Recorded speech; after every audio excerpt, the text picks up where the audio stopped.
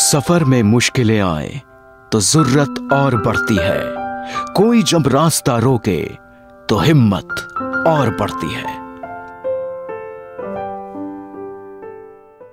हमेशा चुनौतियों से लड़ना, मुश्किलों का सामना करना, जनता के दुख दर्द में खुद को शामिल करना और जनता के हितों के लिए बड़ी से बड़ी लड़ाई लड़ना, यही है पहचान। कांग्रेस के जाबाज सिपाही और बादली के पूर्व विधायक देवेंद्र यादव की। निगम पार्षद से अपनी राजनीतिक पारी शुरू करने वाले देवेंद्र यादव आज अपनी स्वच्छ छवि और कर्तव्य निष्ठा से दिल्ली में कांग्रेस पार्टी की रीढ़ बन चुके हैं। देवेंद्र यादव ने अपने शासनकाल में जिस तरह से एक के बाद एक बड़े बड़े कार्यों को अंजाम तक पहुँचाया।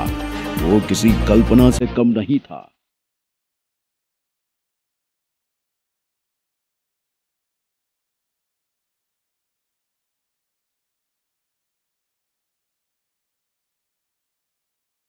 उत्तरी दिल्ली के इस पिछड़े इलाके को श्री देवेंद्र यादव ने अपनी बेहतर कार्यकुशलता और सूझबूझ से विकसित कर दिया। गलियों की मरम्मत से लेकर दिल्ली मेट्रो के रूट को बादली से निकलवाने तक में उनका विशिष्ट योगदान रहा। बादली विधानसभा में देवेंद्र यादव द्वारा हर कार्य अपनी सफलता की कहानी खुद बयां कर रहा है।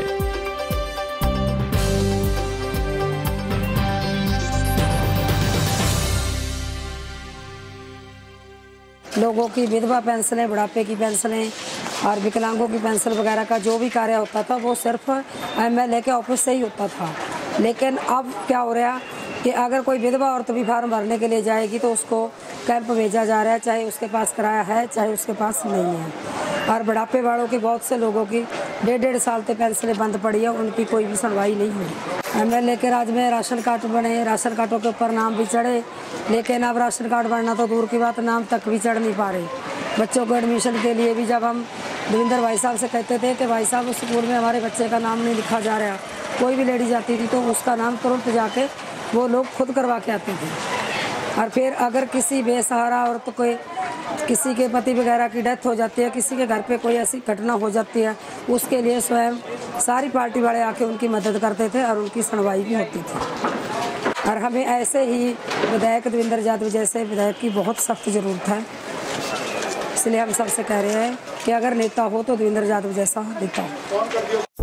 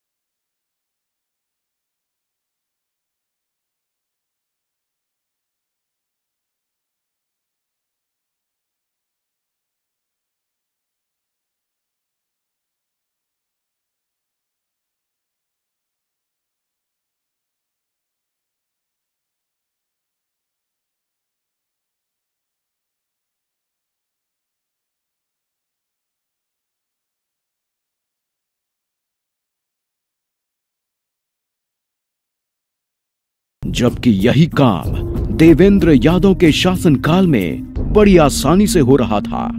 आज क्षेत्र की जनता अपने लोकप्रिय नेता को याद कर रही है। लोगों के हित में जो है कांग्रेस पार्टी ही सबसे अच्छी है और ये केजरीवाल ने जो किया है, फ्री वाईफाई फ्री ये, फ्री वो, फ्री आज तक किसी चीज़ का कोई फ्री मिला है? अनऑथराइज कॉलोनियों में क्या फ्री है? कोई भी चीज़ फ्री नहीं है। यहाँ पानी पहले से ही नहीं था, अब भी पानी नहीं है। कहाँ पानी है? पानी भी आ रहा है तो जैसे गटर का पानी आता है ना, वो पानी आ रहा है। यहाँ सीवर का काम जो देवेंद्र जी ने कराया था, उसका भी टेंडर का पैसा पता नहीं कहाँ गया, कहाँ नहीं। हमें तो ऐसा एमएलए चाहिए जो सबका सम्मान कर सके और सबको साथ रख सकता है। ऐसा एमएलए हमारा देवेंद्र यादव ही था, जो सबको सम्मान देता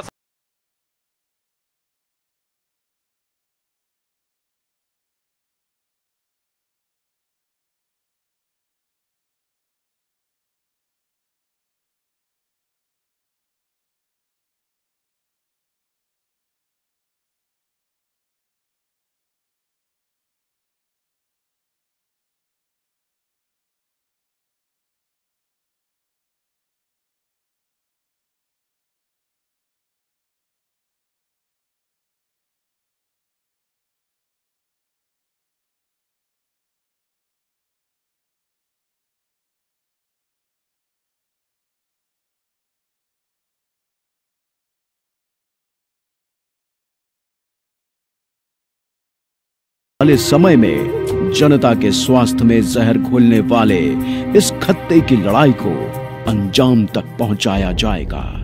वार्ड नंबर 19 का सदस्य हूँ स्वरूप नगर का, दिल्ली बयालीस से।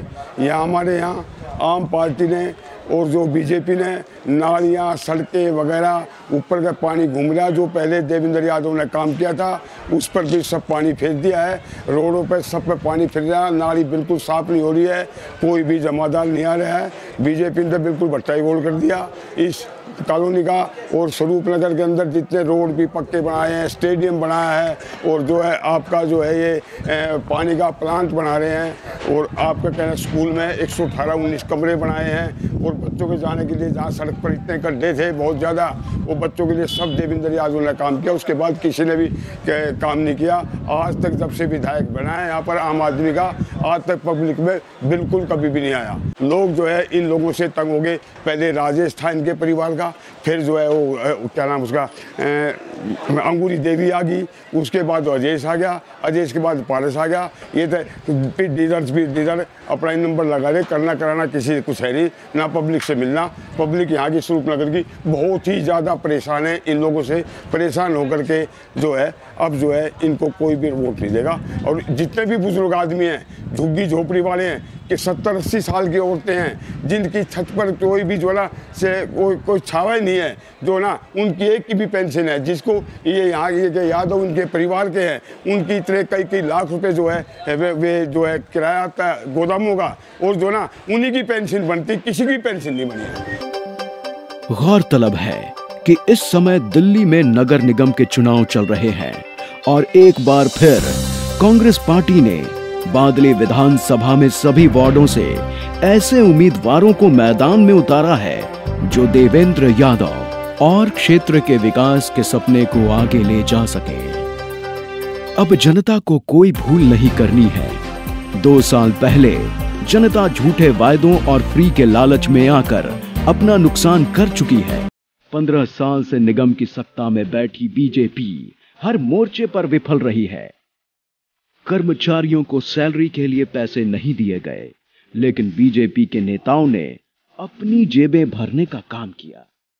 दो साल पहले दिल्ली में आपकी सरकार आने से सिर्फ़ वाद विवाद को जन्म मिला, जिसका खामियाजा दिल्ली की जनता को भुगतना पड़ रहा है।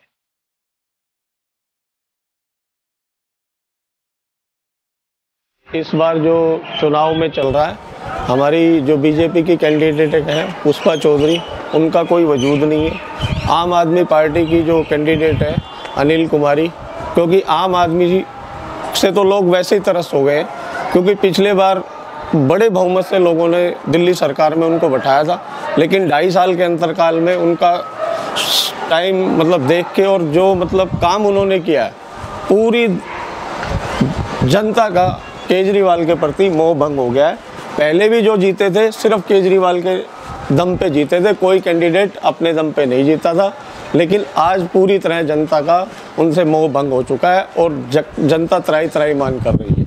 और हमारे पहले जो यहाँ विधायक होते थे, श्री देवेंद्र यादव जी, वो उनका सौभाग्य नहीं स्वरूप नगर की जनता का सौभाग्य था। हम तो आज सारी जनता उस भूल को मान रही है। देवेंद्र जी ने स्टेडियम बनवाया, पार्क बनवाया जल बोर्ड के लिए ट्रीटमेंट प्लांट उन्हीं का बनाओ। आज ही आप जो रोडें देख रहे हैं स्वरूप नगर की, सब देवेंद्र जी की देन है। इससे इस स्कूल में अस्सी कमरे एक्स्ट्रा बनवाए। जो पहले हम यहाँ, देवेंद्र जी से पहले, इतने इतने गड्ढों में जाते थे। आज आप देख रहे बुराड़ी रोड पे आप जाइए, वहाँ से अगर हम दो बार गाड़ी निकल जाते तो गाड़ी का एक्सल टूट जाता था। ये सब जो है, देवेंद्र यादव जी की देन है। और वो सबसे बड़ी क्या है उनको पता होता था। कि कौन सी गली में कौन सा गड्ढा है क्योंकि वो घूमते थे लोगों से मिलते थे कार्यकर्ताओं से मिलते थे।